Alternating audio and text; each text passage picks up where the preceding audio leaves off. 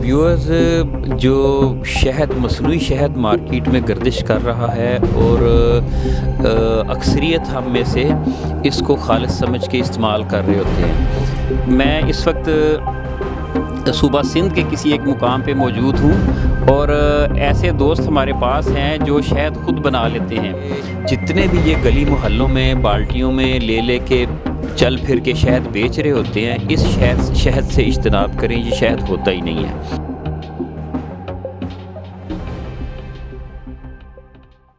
अस्सलाम व्यूअर्स, मैं हूँ डॉक्टर वसीम अहमद ख़ान।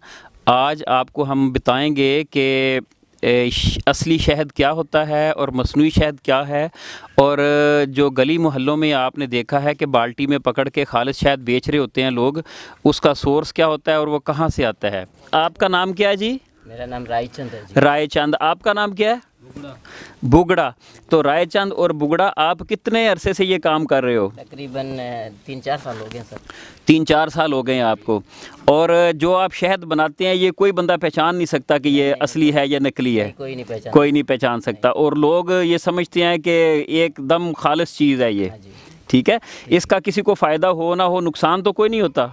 नुकसान तो अभी देखो नहीं दो नंबर और असल में तो नुकसान ही होता ही होगा। आ, पहले आपको तरीका बताते हैं कि मसनू तौर पर शहद कैसे बनाया जाता है।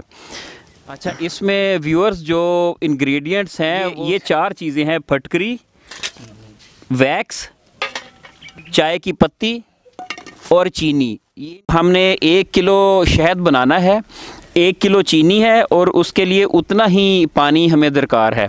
तो एक किलो पानी जो है, वो हमने चूल्हे पे रखा हुआ है। ये उबल गया है, गर्म हो गया है। अब गर्म करने के बाद इसमें एक किलो चीनी डाली जाएगी। अब इसको मिक्स करेंगे और ये इसका सुपर सेचूरेटेड सोलूशन बन जाएगा चीनी का।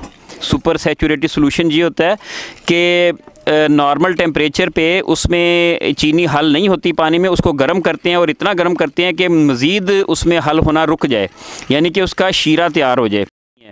तो ये उसमें वैक्स डाली गई है, ये भी गर्म होके उसमें शीरे के साथ मिक्स हो जाएगी, यकजान हो जाएगी। इसमें जो चाय की पत्ती का रोल है, वो इसको थोड़ा सा शहद का रंग देने के लिए है। अब इसमें हम ये पोटाश एलम डालेंगे, फटकरी। फटकरी का रोल इसमें ये है कि ये इसको साल हा साल तक क्रिस्टलाइज नहीं होने देगी। व्यूअर्स ये देखें, शीरा तैयार होने के करीब है। इसको अंदाज़न आधा घंटा लग जाता है शायद को मुकम्मल तैयार होने में। फिर गर्म होगा, इसको ठंडा करेंगे और इसको एक जो छान लेंगे किसी कपड़े के साथ या किसी स्ट्रेनर के साथ। अच्छा व्यूअर्स ये आप देख सकते हैं कि ये शहद तैयार है अब।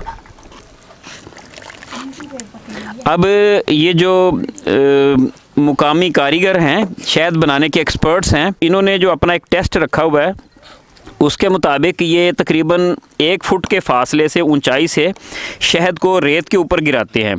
अगर रेत में गिरने से ये एक मोती की शक्ल इख्तियार कर ले, इसका कतरा तो शहद तैयार है। तो ये देखें मैंने यहाँ से कतरे गिराए हैं। ये बिल्कुल मोती की तरह इनकी शक्ल, इन्होंने शक्ल इख्तियार कर ली। है इसका मतलब ये है कि मुकामी कारीगरों की रूह से अब ये शहद तैयार हो चुका है और पक्का शहद है।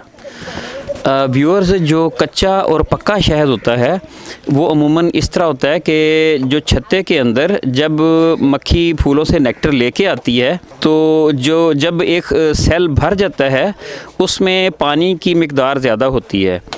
तो मक्खी उसको अपने पर हिला के एवेपोरेशन के ज़रिए से मॉइस्चर लेवल कंट्रोल करती है। सत्रह, अठारह, उन्नीस फ़ीसद उसमें वाटर कंटेंट होता है। तो मक्खी कुदरती तौर पर उसको सत्रह या अठारह तक लेके आती है।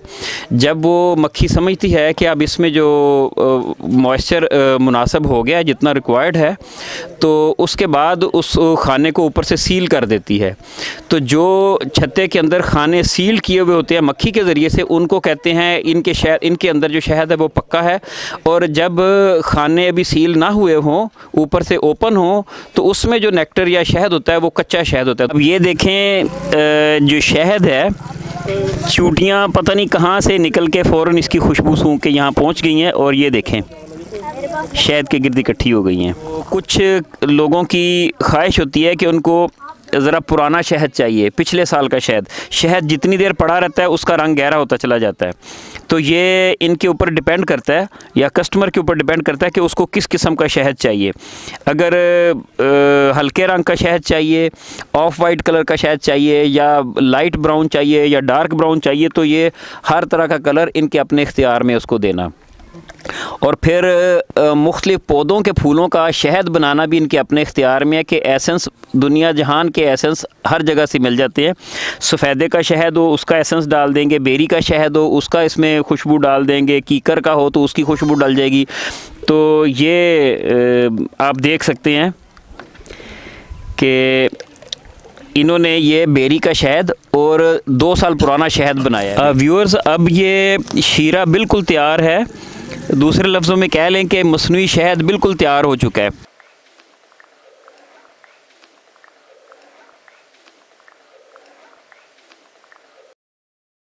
व्यूअर्स जो शहद मसनू शहद मार्केट में गर्दिश कर रहा है और अक्सरियत हम में से इसको खालिश समझ के इस्तेमाल कर रहे होते हैं।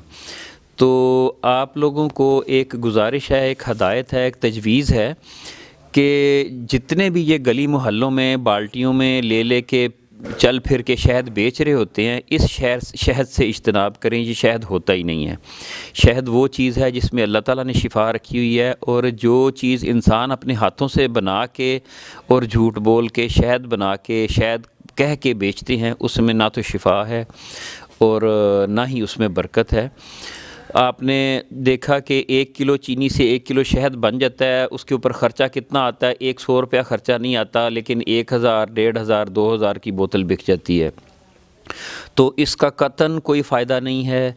इससे इज्तनाब करें। और दूसरी बात जो मैं आपको बताना चाहता हूँ कि मार्केट में जितने भी ब्रांड मिल रहे हैं, जितने भी ब्रांड्स हैं वो ख़ास तौर पे वो जो शेल्फ़ पे पड़े हुए, दुकानों में पड़े हुए क्रिस्टलाइज नहीं होते, जमते नहीं हैं, आप समझ लें कि उनको प्रोसेस किया गया है। उसूलन तो ये होना चाहिए कि जो प्रोसेस्ड हनी है, उसकी बोतल के ऊपर, जार के ऊपर प्रोसेस्ड हनी लिखा जाना चाहिए। लेकिन प्रोसेस्ड हनी नहीं लिखा हुआ होता और अक्सर जगहों पे तो हम देखते हैं कि ऑर्गेनिक और रॉ हनी इस तरह के अल्फाज लिखे हुए होते हैं।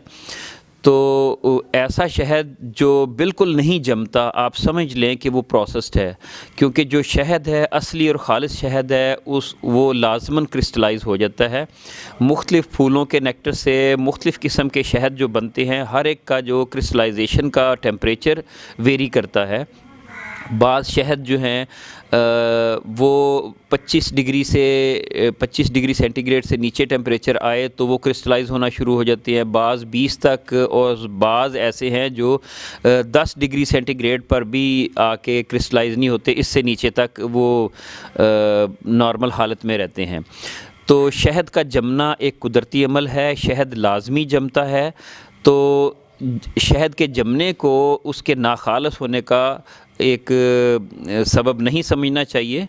अगर शहद खालिस खाना हो, इस्तेमाल करना हो तो तजवीज़ ये है कि आप अपने दाएँ बाएँ इर्द गिर्द अपने माहौल में देखें, अगर कहीं शहद लगा हुआ हो तो वो किसी से अपनी आँखों के सामने उतरवा लें। अगर ये अवेलेबल नहीं है तो all Pakistan bee keepers association है उसका हेड क्वार्टर पिशावर में है और पाकिस्तान भर से जो फार्मर हजरात हैं, वो अपना जो अपनी प्रोड्यूस है, जो अपना शहद की जो हार्वेस्ट किया जाता है, वो वहाँ मंडी में लेके आते हैं और वहाँ एक से बढ़कर एक दयानतदार फार्मर आपको मिलेगा। दो नंबरी भी होती है, जालसाजी भी होती है, मिलावट भी करते हैं, लेकिन बहुत सारे ऐसे फार्मर हजरात भी हैं जो बिल्कुल खालिश शहद वहाँ पर फ़रोख्त करते हैं।